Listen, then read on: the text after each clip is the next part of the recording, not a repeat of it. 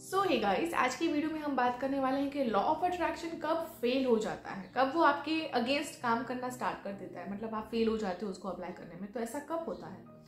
तो देखिए guys law of attraction को एक प्रॉपर वे में अप्लाई करना बहुत इंपॉर्टेंट होता है। अदरवाइज़ आप उसको अपने फेवर में वो रिजल्ट्स आप अचीव नहीं कर पाएँगे। सो द मेन मिस्टेक या जो मेन प्रॉब्लम है जो लोग हमेशा अनजाने में ही सही लेकिन कर देते हैं, वो ये है कि वो है ना अलाइन नहीं है। उनके थॉट्स कुछ और हैं, उनके एक्शंस कुछ और हैं, उनके बिलीव्स कुछ और हैं। है ना? इसकी वजह से क्या हो रहा है ना कि वो अपने डिजायर्ड रिजल्ट्स को अचीव नहीं कर पाते। बहुत लोग मुझसे ये पूछते कि, दीदी, मैं बहुत यू नो पॉजिटिव सोचती हूँ, मैं नेगेटिव सोच ही नहीं रही तो भी मेरे रिजल्ट्स क्यों नहीं मिल रहे मुझे? बिकॉज़ कहीं ना कहीं डीप डाउन आपके जो लिमिटिंग बिलीव्स है ना, वो इन चीज़ों को रोक रहे हैं। क्योंकि हम सोचते पॉजिटिव हैं, लेकिन हमारे एक्शंस कभी कभी उसके अपोजिट हो जाते हैं। प्लस हम सोचते हैं, लेकिन हमारे वाइब्रेशंस होते हैं जो डीप डाउन वो कभी कभी यू नो उसके अगेंस्ट हो जाते हैं। तो ये सारी चीज़ों का अलाइन रहना बहुत ज़रूरी है। आई नो कभी कभी ये चीज़ डिफ़िकल्ट भी हो जाती है कि हर टाइम अलाइन रहना या अपने थॉट्स एक्शंस एनर्जी वाइब्रेशन को अलाइन करना।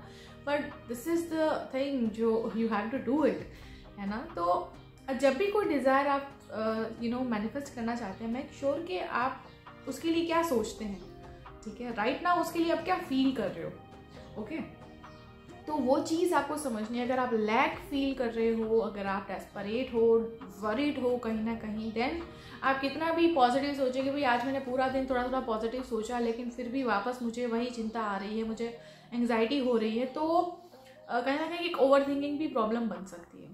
एंड अगर सच कहूँ तो over thinking is not the main problem the main problem is negative thinking क्योंकि आप सोचते सोचते सोचते कब नेगेटिव सोचना स्टार्ट कर देते हो ना, उसी के कारण आपकी वो जर्नी में ऑब्स्टिकल्स आते हैं। क्योंकि अगर हम पॉजिटिव सोचते हैं तो वो भी हमको रिपीटेशन में ही रखना है ना, कि हमको रिपीट रेपिटेडली हमको पॉजिटिव सोचना है। देन ये भी एक ओवर थिंकिंग ही हुई ना, लेकिन हम पॉजिटिव सोच रहे हैं तो उसमें कोई हमको प्रॉब्लम नहीं है, वो तो उल्टा हमको फ़ायदा देगा।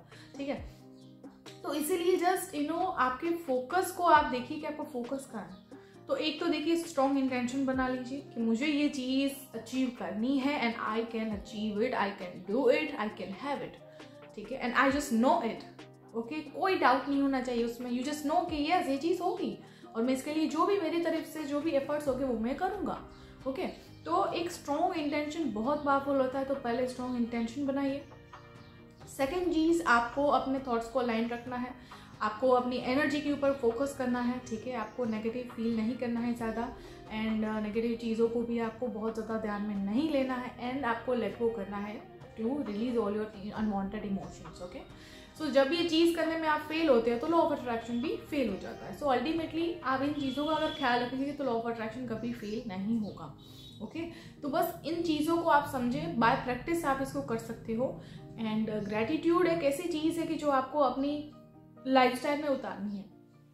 आपको अपने लाइफ में रूटीन करना है ग्रेटिट्यूड में कभी भी ये क्वेश्चन आपको नहीं आना चाहिए कि ये मुझे कब तक करना है। ये आपको परमानेंट पूरी लाइफ करना है।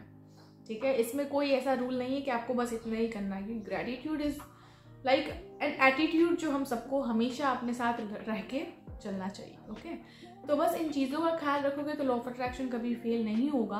और अगर कोई चीज़ आपसे ऐसी मिस्टेक हो रही है तो इसकी वजह से लॉ ऑफ़ अट्रैक्शन फेल हो रहा है ओके तो बस यही था आज की वीडियो में। एंड आई आपको ये वीडियो भी अच्छा लगा होगा हेल्पफुल लगा होगा सो तब तक के लिए stay happy stay blessing to all